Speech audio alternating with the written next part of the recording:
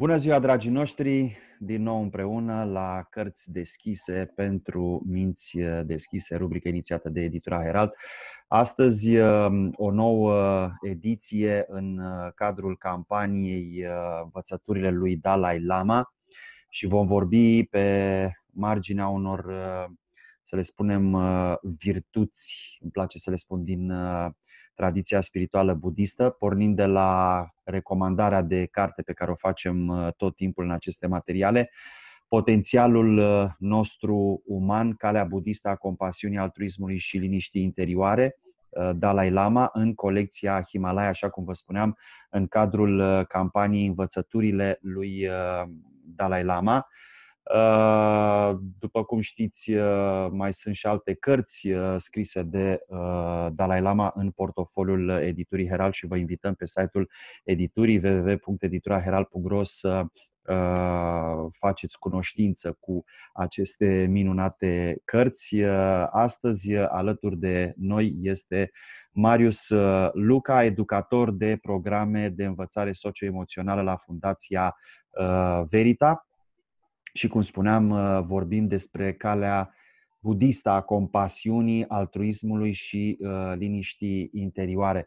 Uh, ce înseamnă, uh, Marius, această cale a compasiunii pe care cu sinceritate uh, pot să afirm în nume propriu, bineînțeles, în nume personal, uh, că o găsim, de exemplu, și în, și în tradiția creștin-ortodoxă atunci când vorbim despre uh, bunătate, despre iubire, despre iertare, despre empatie, înțelegerea nevoilor celuilalt, bineînțeles și despre compasiune, dar cu atât mai mult compasiunea este un concept uh, foarte uh, folosit în tradiția uh, budistă.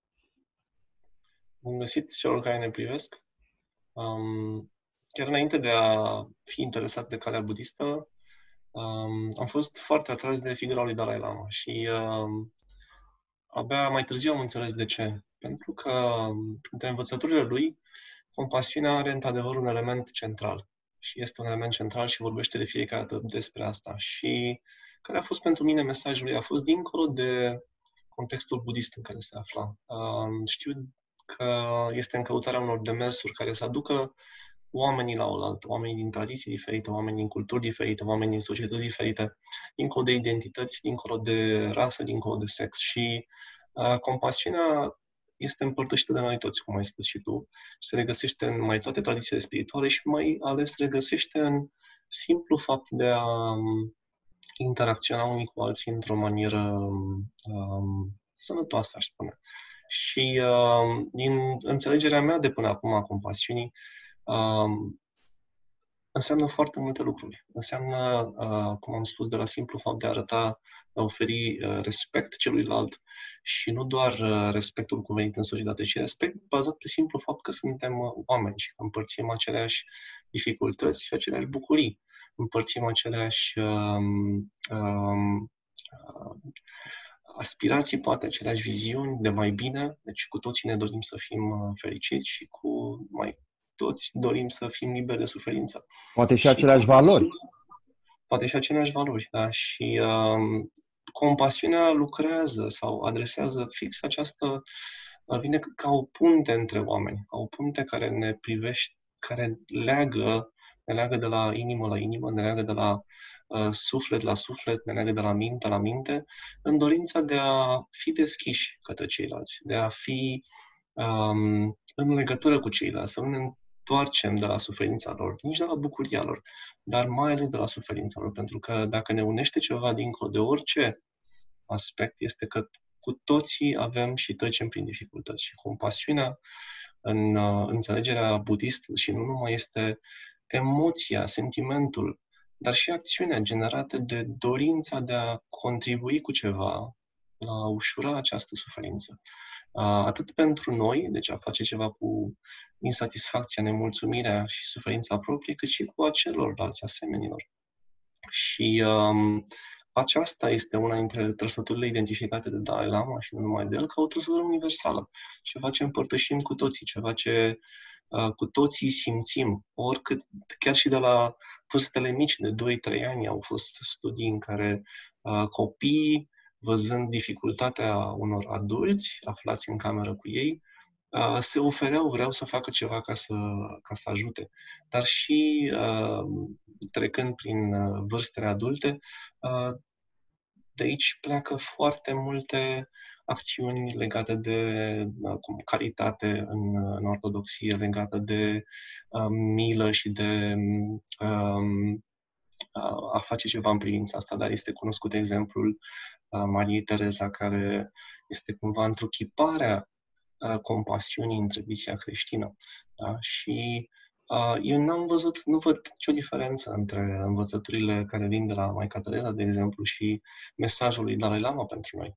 Să ne conectăm cu umanitatea din noi, să ne conectăm și să vedem, într-adevăr, cu, cu dragă inimă, că împărtășim cu toții o soartă dificilă și că este mai bine să ne ajutăm unii pe alții și să um, lucrăm unii cu alții decât să um, uh, dăm prea multă importanță diferențelor dintre noi. Așadar, să vedem mai degrabă ceea ce ne leagă decât ceea ce ne uh, diferențiază și să privim chiar și acele diferențe ca pe ceva foarte prețios, ceva care ne permite să um, ne confruntăm idei într-un mod sănătos, ceva ce ne permite să nu acceptăm, să avem un scepticism sănătos, ceva ce ne permite să lucrăm împreună pentru mai bine, un mai bine al tuturor. Da? Și așadar să compasiunea este privită ca pe o punte de ajutorare, de colaborare, dar mai profund, zic eu, este privită ca o punte ceea ce, care ne leagă dincolo de orice uh, diferențe și artificiale, aș spune eu, care sunt reprezentate poate de religie, poate de identitate, poate de naționalitate, poate de etnie, poate de rasă. Deci am putea să vedem atâtea diferențe între noi și totuși sunt câteva calități care ne leagă dincolo de toate acestea, compasiunea fiind una dintre ele. Dacă în timp ce te ascultam și îmi place foarte mult că uh, ai invocat uh, exemplul Mariei Teresa, pentru că de cele mai multe ori când uh, mă gândesc la Dalai Lama, îmi vine în minte și modelul ei de, de compasiune. Și dacă am mai spus-o cu altă ocazie, cu foarte mult timp în urmă, dacă ar fi să dau, să spunem, să fac un top al celor mai importanți lideri spirituali care, uh, din punct de vedere al uh, bunătății, iubirii de semeni, uh, compasiunii, empatiei, nevoia de a înțelege, de a înțelege pe celălalt și de a înțelege nevoile. Dacă ar fi să dau un top 3 al celor mai importanți lideri spirituali, gândul mă duce la Dalai Lama, Maria Teresa și Mahatma Gandhi. Iată, uh, doi cel puțin din și spațiul este oriental. Fascinant că uh, cu toții împărtășesc și au transmis un mesaj în care îi spun și spun în repetate rânduri și au spus-o, că ei nu sunt cu nimic special. Nu este că ei au ceva uh, deosebit de ce avem noi doi, de ce au uh, cei care ne privesc și de ce au de ce are orice om de pe lumea asta. Această calitate este în noi. Este poate la unii ca potențial, poate la unii mai exersată și așadar această calitate este ceva ce poate fi cultivat, ce poate fi dezvoltat, ce poate fi crescut, ce poate fi împărtășit și despre care um, uh, să nu ne ferim să vorbim, pentru că uh, și de aceea uh, în programele pe care, la care lucrez compasiunea este un element în educație. Și știu că și Dalai Lama, și nu doar Dalai Lama, militează pentru a aduce um, compasiunea și alte uh, virtuți, cum ar fi răbdarea, iertarea, ca elemente de predare, ca elemente care pot fi integrate în educația uh, copiilor și apoi uh, dezvoltate, pentru că vin pe un fond deja, cum am menționat mai devreme studiile, vin pe un fond de bunătate și de cooperare pe care îl avem deja la nivel uh, genetic. Îl împărtășim cu toții. Așadar, în condițiile potrivite uh, și cu educație potrivită le pot fi stimulate, pot fi crescute și apoi să înflorească într-un mod particular fiecăruia. Maica Tereza este un mod de a manifesta compasiunea, Dalai Lama este un alt mod. Uh, Mahatma Gandhi, iată, o cale politică sau uh, legată de schimbări societale. Așadar, în toți este această potențialitate și nu doar potențialitate, ci și actualitate, pentru că să ne gândim la cei dragi nouă, la cei apropiați nouă. Suntem sensibili la suferința lor, suntem sensibili atunci când îi doare ceva fizic, dar nu numai. Și așadar, cu toții ne identificăm cu acea dorință de a face ceva pentru ei și poate chiar cu acea neputință de a nu putea să facem ceva pentru ceilalți. Da? Și aici vine, în schimb, compasiunea pentru sine. Să-mi, să reușesc să-mi ofer eu compasiune atunci când observ la mine că este ceva ce, ce mi este greu de dus. Da? Și, um, și nu are o, o poate că ar putea să pară un pic uh, pueril că mă gândesc la compasiune pentru mine când e atâta suferință în lume, dar chiar Dalai Lama spunea într-una dintre cărți că avem nevoie să fim uh, generoși, dar avem nevoie să fim, uh, în primul rând, într-un mod inteligent, egoiști. Adică cumva să ținem la noi, să, ne, să avem grijă de noi și învățând cum să avem grijă de noi, să dăm mai departe asta și să fim acolo pentru ceilalți, că și ceilalți au nevoie de noi. Um, așadar, da, poate fi învățată, poate fi parte din educație și este, cel puțin am, am încercat să o ducem în educație și se poate vorbi cu, cu adolescenți despre asta și chiar și cu copii mai mici. Um, poate fi practicată, deci poate fi pusă în practică și poate fi și un model de viață, un, un, un, un fel de a te raporta nu doar la, la viața pe care o duci, ci la, la interacțiunea cu tot ceea ce se întâmplă în jurul tău. De exemplu, compasiune pentru lumea înconjurătoare. Cum putem să înțelegem că nici măcar lumea naturală nu este deosebită de noi și noi nu suntem deosebiți de ea și cum putem să avem compasiune și așadar să, să ne adaptăm acțiunile astfel încât să aducem mai puțin um, mai puțină suferință acestei lumi în care trăim și care ne susține în, în, în final. Deci, compasiunea are foarte multe dimensiuni și Dalai Lama e unul dintre exponenții cei mai articulați și informați, ca să spun așa, când e vorba de asta, pentru că toată viața a practicat. Este un exemplu viu. Cred că, așa cum spuneai foarte bine, cred că practicarea, apropo de exercițiu, așa cum practici, de exemplu, meditația, pentru a ajunge să-ți uh, gestionezi cât mai bine, să nu spun să-ți controlezi mintea, dar să poți să ai acea, cum spune Dalai Lama într-o carte, chiar este titlul unei cărți, minte, uh, o carte minte senină și cealaltă minte liniștită și uh, profundă.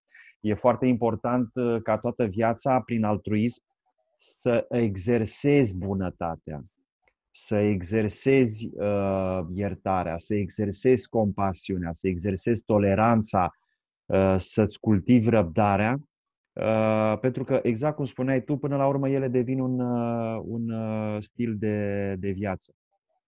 Și foarte important, iarăși, așa cum ai subliniat uh, foarte bine, faptul că uh, trebuie să am compasiune față de mine ca să pot avea compasiune față de ceilalți, față de lumea înconjurătoare cel puțin dacă ne referim la tradiția budistă, nu doar față de oameni, chiar și față de, de animale și de, de tot ce este viu în jurul nostru. De asemenea, respectându-mă pe mine, îi pot respecta pe ceilalți, iubindu-mă pe mine, îi pot iubi pe ceilalți, valorizându-mă și apreciindu-mă pe mine, pot să valorizez și să-i apreciez pe, pe ceilalți. Deci cred că totul pornește de la acest, i-aș spune eu, rezervor interior, pentru că uh, degeaba îmi doresc foarte mult să fac bine celor din jur și să-i ajut dacă eu nu sunt poate suficient de bine cu mine. Dacă eu nu am suficientă liniște și echilibru interior. Așa este și în, în tradiția budistă, cel puțin, în care sunt un pic mai familiar, că am, am mai cercetat una alta și am și experimentat, um, compasiunea nu vine la început sau mai degrabă vine, dar sub forme diferite. Așadar, um, un practicant este invitat mai întâi să reușească să stea cu emoțiile și cu gândurile și să se familiarizeze cu ele, cum ai spus, în procesul meditației. Și um, asta este o practică cu care încep și, practic, nu, te urmează toată viața, ocultist toată viața pentru a putea vedea lucrurile așa cum sunt. Una dintre dezideratele practicii budiste este să vezi realitatea așa cum este.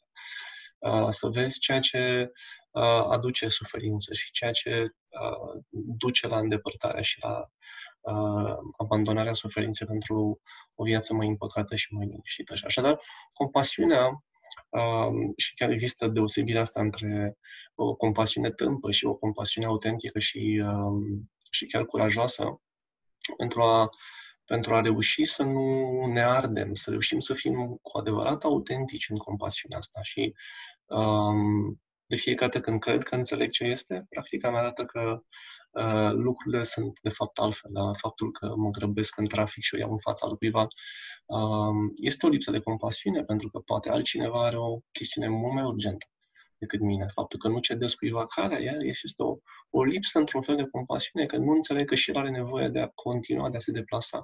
Și, repet, ori de câte ori cred că practic compasiunea, în realitate mi se dovedește că uh, e loc de mult, mult mai mult. Și calea prin care se cultivă compasiunea este și, um, este și destinația, într-un fel. Practica meditației face să facilitează cumva îndepărtarea tot ceea ce stă în calea um, naturii noastre autentice, să-i spunem. Și natura noastră autentică este uh, una fundamental bună, fundamental compasivă, empatică, colaboratoare. Da? Um, și toate aceste calități sunt acolo de la început pentru fiecare om, cum spuneam. Și um, compasiunea, așadar, este, în înțelegerea mea, um, cumva consecință a faptului că um, practic meditația Uh, caut să înțeleg mai multe despre ceea ce, um, ceea ce acționează ca suferință pentru mine și pentru ceilalți.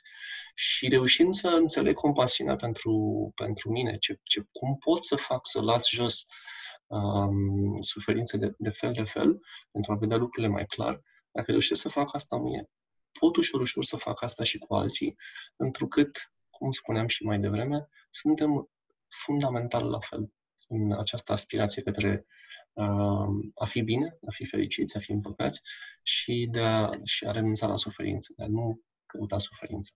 Și practica meditației este una dintre ele, cum practica rugăciunii este în, în, în, crești, în creștinism una dintre ele, cum în sufi este dansul și rugăciunea. Um, deci s-au identificat aceste multiple practici care să ne, ne dea voie să scoatem la lumină ceea ce este mai bun în noi. Și compasiunea este una dintre aceste mari, mari virtuți um, care odată scoase la lumină pot aduce mult uh, alinare în jur, pot aduce mult alinare uh, oamenilor de aproape, da? părinților, partenerei, copiilor, pentru că nu mai reacționezi, ci acționezi într-un mod mai uh, adecvat și pot să aducă chiar și la nivel de cu cât sunt cu cât interacționez cu mai mulți oameni, cu atât pot să aduc compasiunea așa cum o înțeleg și cum știu mai bine în viața tuturor, prin simplu fapt că ofer un zâmbet uh, celor cu care îi văd și poate ăsta este zâmbetul care ar putea să le însenineze ziua.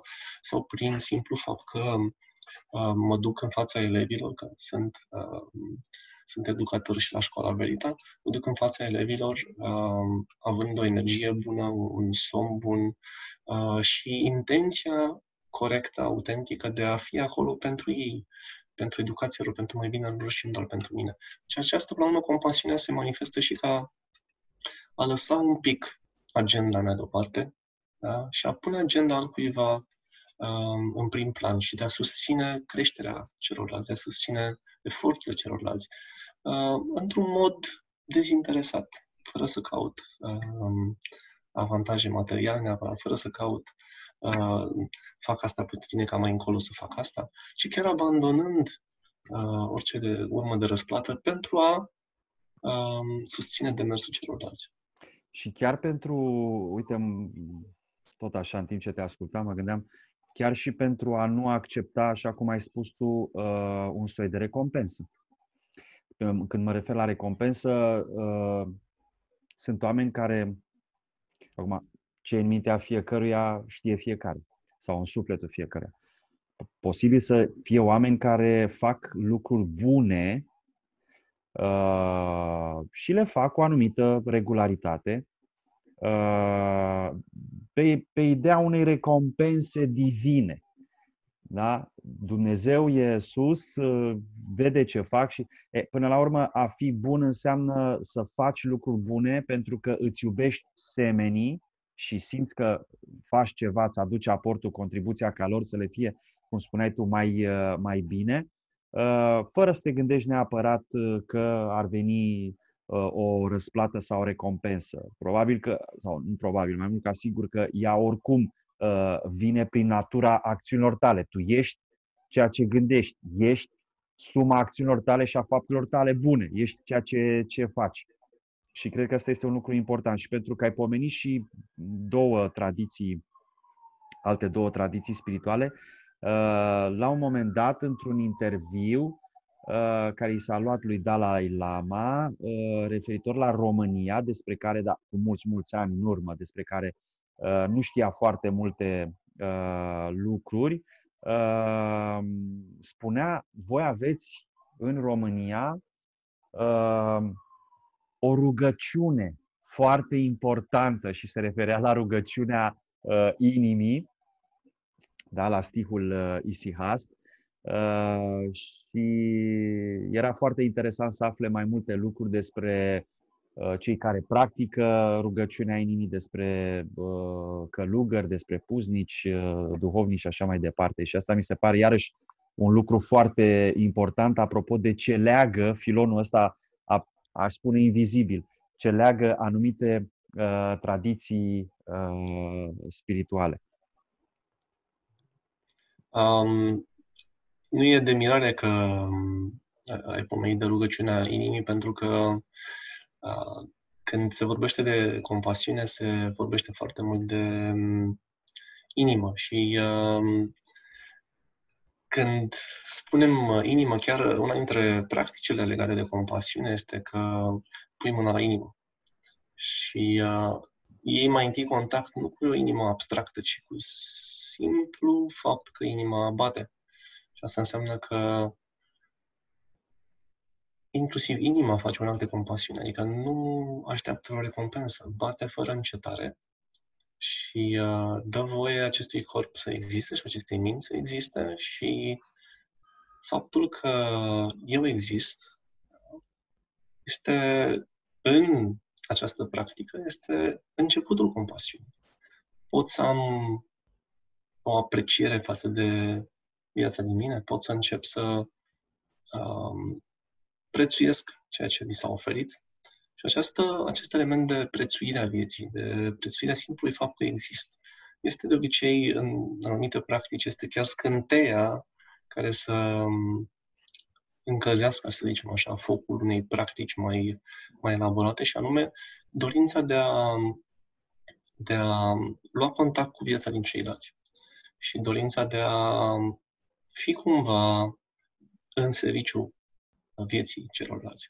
Și um, mi-aduc aminte cum, um, uh, făcând odată practica asta, um, am, am început să plâng, pentru că și nu sunt un tip care plânge foarte des și am mult timp nu mi-am exteriorizat uh, emoțiile și um, nici măcar nu era vorba de compasiune în practica asta. Era uh, simplu fapt că să simțim, să ne simțim împământați, să simțim că luăm contact cu mediul în care suntem, ca o încălzire, să zicem așa, a practicii de meditație. Și ce, ce înseamnă pentru mine acel moment? A însemnat sim, am presupus tot timpul că sunt în viață, adică nu, nu am acordat o atenție acestui lucru, o atenție deosebită.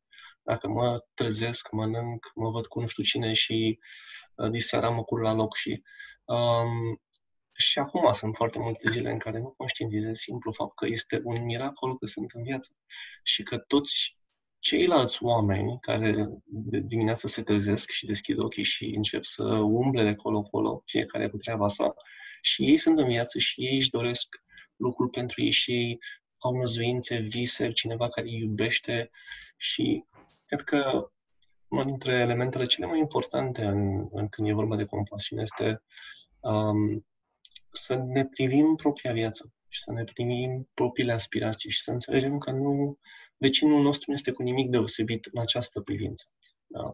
Și că este uneori greu să, când vorbim de compasiune, să, să o legăm propriu-zis de ok, dar cum se simte asta? Ce, de la ce pot să plec în cultivarea acesteia?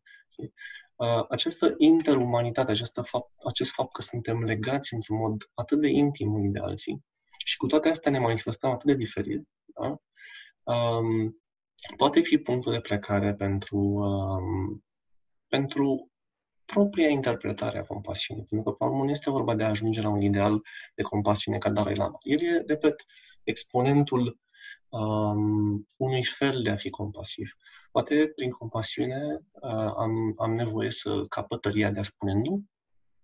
Poate am uh, nevoie să capăt curajul de a spune lucrurilor pe nume acolo unde mă aflu. Nu înseamnă doar să fiu uh, un sfânt, să fiu cel care tot timpul e de acord și în serviciu celorlalți, un fel de uh, cârpă pentru ceilalți. Nu e vorba de asta, este să, să învăț să prețuiesc viața din mine și să fac ceea ce este corect, atât de bine pe cât știu, uh, și în tot ceea ce fac. Și în felul ăsta poate să pun capăt unui abuz un act de compasiune față de foarte mulți oameni. Da? Și nu a spune doar uh, da și să am înțelegere și, dar uneori, curajul de a spune nu e un act de compasiune. Un act de compasiune chiar curajos este numit în, în literatură. Da? Um, așadar, practica personală și legarea practicii personale de viața de zi cu zi um, cumva conduce la construirea pentru fiecare a ceea ce înseamnă compasiune și a felului în care este cel mai propice să mă manifest în acest fel. Așadar, când vorbesc de compasiune, um, nu vorbesc de compasiunea mea care este la fel cu a ta, cu a, a celorlalți. Este fiecare are nevoie să descopere pentru sine și are nevoie să, să o cultive în felul propriu, că poate nu toți vor prefera meditația, poate nu toți vor prefera rugăciunea, poate, uh, cum e uh, colega care ne-a, ne-a făcut legătura Lila, ea preferă să fie, uh, să fie în acțiune, să fie în centrul acțiunii și așa Uh, pentru ea aceea este practica. Da? De acolo își trage învățămintele și învățăturile. Da? Eu prefer din potrivă să fiu, poate un, să fac un pas în spate și să, uh, și să merg într-un retreat, să stau trei zile singur. Um, am, am un alt prieten care um, um, preferă să, să stea sub cerul liber. Pentru el, a fi compasiv este um, a, a, a învăța să construiască case din uh, lut și din uh, paie și să ducă învățătoarea mai departe fără niciun ban. Deci, fiecare... pentru, care, o, pentru care această conexiune, comuniune cu natura și atunci acolo e, e elementul lui uh, de bază. Și mi-a plăcut foarte mult când ai vorbit, apropo de a, a fi compasiv și de, com, de compasiune, să spui nu. În primul rând, cum spuneam puțin mai devreme, să arăți compasiune față de tine. Uh, s-a bătut mult monedă pe stabilirea acestor, uh, le-aș spune eu, limite și granițe sănătoase care au legătură cu compasiunea, pentru că în momentul în care uh, mintea ta uh, îți spune să spui uh, nu, iar tu, pentru că asta e voința ta, da? nu poți să spui tot timpul numai da. Oricât ai fi de pozitiv și oricât ai fi de... Da, nu poți să fii disponibil uh, tot timpul pentru ceilalți. Uh, vrei să spui nu și de fapt din gura ta, și mie mi s-a întâmplat foarte des, din gura ta este da. Uh, deși mintea mea gândește nu. Tocmai din dorința de a nu-l deranja pe, pe celălalt, de a nu-l, de a nu-l ofensa, de a nu-i aduce vreun prejudiciu, să spunem, moral și atunci prefer să lași de la tine, e ca un soi de concesie, un compromis și să spui, uh, să spui da în loc uh, de a spune uh, nu. Dar compasiune trebuie să ai și față de, de tine, cum spuneam mai devreme, ca să poți să dăruiești mai departe compasiune celorlalți. Și iarăși un lucru important pe care tu l-ai menționat este sentimentul acesta de recunoștință în momentul în care te-ai trezit și vezi lumina zilei și Dumnezeu ți-a dat încă o zi, să ai acel sentiment de recunoștință, că nouă ni se pare un dat. Bun, m-am trezit, era firesc să mă trezesc. Încă o zi, da, e normal, știi? Și ni se pare așa un dat și nu ne dăm seama de fapt de acest miracol de care tu povesteai puțin mai devreme, să am această recunoștință față de o nouă zi în care, iată, pe lângă alte lucruri, pot să le fac bine și uh, celorlalți și să închid ziua, da, când mă duc la culcare, cu același gând de recunoștință pentru ziua care mi-a fost uh, dată, indiferent că ziua aia a fost mai bună sau mai puțin bună, asta contează mai uh, puțin. Dragii noștri, am vorbit uh, astăzi despre compasiune, despre altruism și liniștea interioară recomandându-vă cartea Potențialul nostru uman, calea budistă a compasiunii, altruismului și liniștei interioare de Dalai Lama, în colecția Himalaya și de asemenea în uh, această minunată uh, campanie online învățăturile lui uh, Dalai Lama. A fost alături de noi Marius Luca, educator de programe de învățare socio-emoțională la Fundația Verita, care îi mulțumim foarte, foarte mult că și-a făcut timp să discute uh, cu noi despre uh, Dalai Lama, despre uh, compasiune, despre uh, altruism. Noi ne dăm întâlnire la o nouă ediție a rubricii Cărți deschise pentru minți deschise. Până atunci, să aveți o zi binecuvântată și lectură plăcută. La revedere! Mulțumesc! Să fie cu folos!